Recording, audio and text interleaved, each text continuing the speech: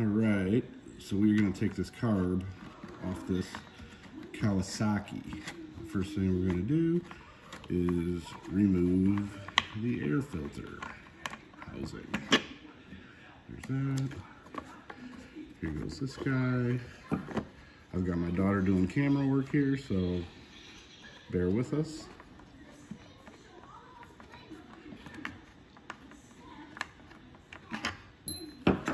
Him off, pop the air filter off, ta-da.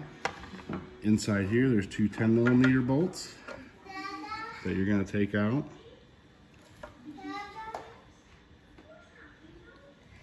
We can, there we go. There's one, or 10 millimeter nuts, I should say. Here comes the other one. Pop him off. Okay. And make sure we remove the breather hose. Pop all that off. Now you're at your carburetor. So there's a gasket right here that as you can see on this one is toast. So that'll be coming off at some point. The fuel line is back here. Right back in there. So we're gonna take that off if we can get it off.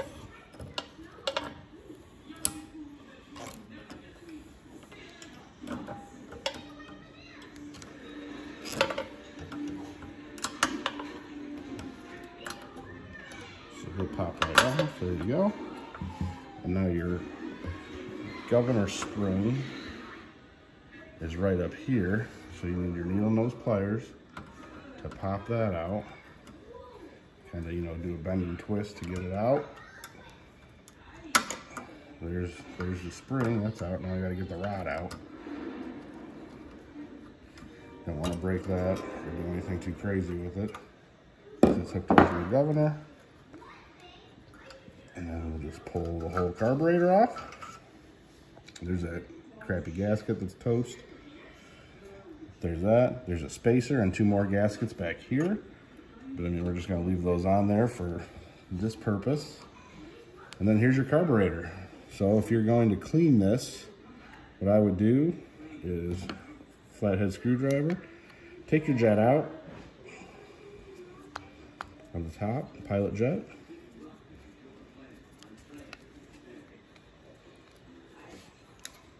There's that. And then another 10 millimeter. Take the bowl off. So there's that, that.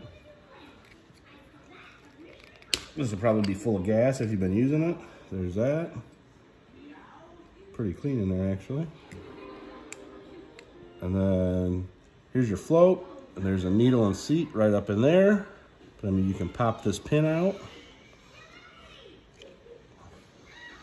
Don't lose it. And then take all that out.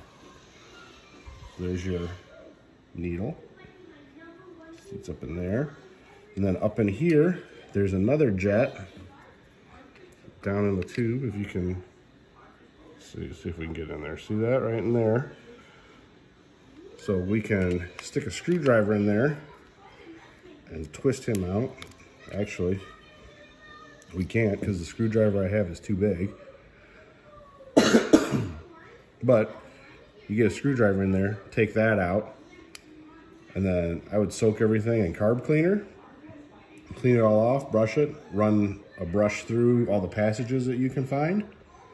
If you have a ultrasonic cleaner, run that through the run it run everything through the ultrasonic cleaner not so much the plastic stuff but these pieces and the jets.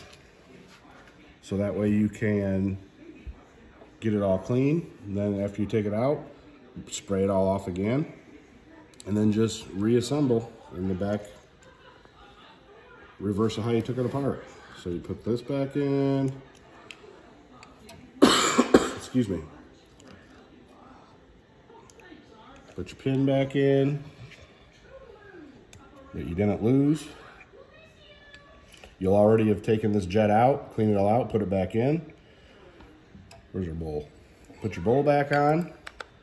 There's a gasket in here. You might need a new one of those. This one's pretty toasted if I was going to use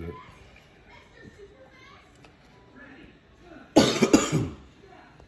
bowl back on. Tighten them down.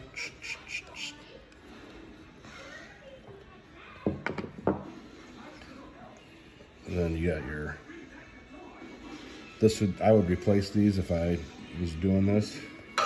And then just slide everything back on. Hook these back up in the top. The governor spring on there. You don't want to mess that governor spring up too much because that will mess up with your, with the governor working like it's supposed to. So that's on. Pull that on. Hook your fuel line back up through the back side.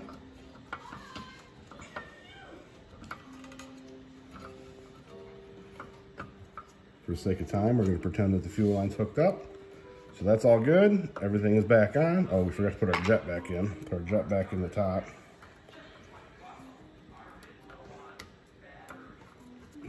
Zoom, zoom, zoom.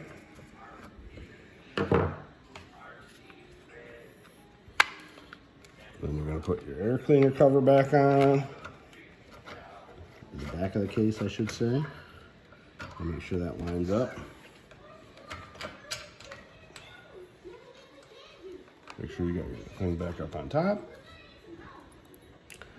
Two 10 millimeter nuts. They go on. Pretty self-explanatory after that. So there you go. You cut it off.